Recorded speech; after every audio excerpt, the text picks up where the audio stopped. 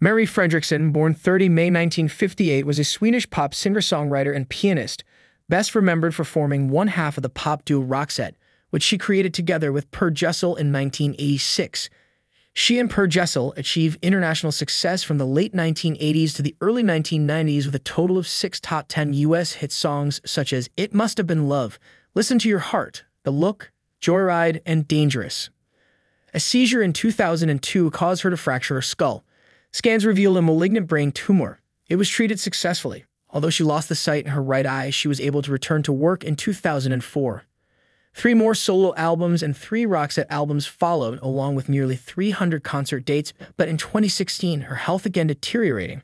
She announced her retirement with the words, I feel nothing but joy and happiness when I look back. The singer had died on Monday, 9 December 2019, following a 17 year long battle with cancer.